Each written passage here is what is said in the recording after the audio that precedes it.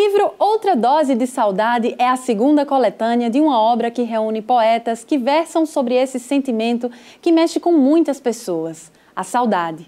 Nossa equipe foi conhecer essa produção literária.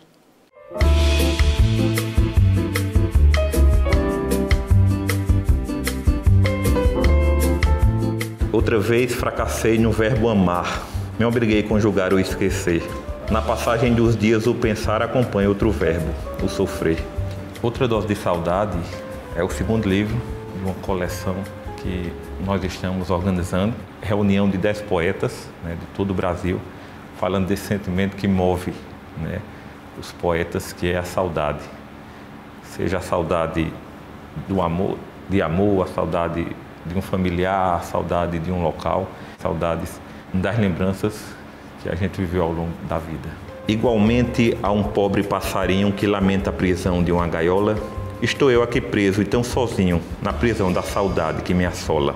Se a gente pode tirar algo, algo bom dessa pandemia é que as pessoas, apesar de estarem mais distantes, elas se conectaram mais através da internet, né?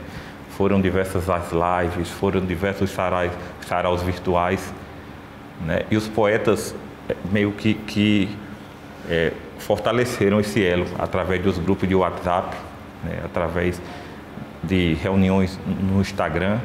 E isso permitiu, por exemplo, que um poeta de Brasília participasse conosco dessa coletânea. E ela, inclusive, é, nós temos programado alguns saraus virtuais, alguns lançamentos virtuais, que só é possível, né, talvez se não fosse a pandemia, nós não teríamos despertado para isso. Saudade é o bom sentimento que te faz feliz também, ao relembrar os momentos, mas só os que te convêm. Eu falei sobre a saudade e suas faces, né, que eu remeti a saudade a várias épocas da minha vida, de amores, da infância, né, dos pais, né, de, de irmãos, de, de coisas do cotidiano, das brincadeiras, principalmente da infância. Saudade da concertina, berimbau do tamborim, do Oswaldo Montenegro, ao som de um bandolim. Quem quiser adquirir o livro, né? Outra Dose de Saudade, pode fazer diretamente com os poetas, né, pelas redes sociais, pode Tiago Monteiro, Silvinha França, através da editora Plural aqui de Campina Grande também lá no Instagram, Facebook. Seu sofrer frente ao meu é diferente, pois seu choro não é de amor ausente.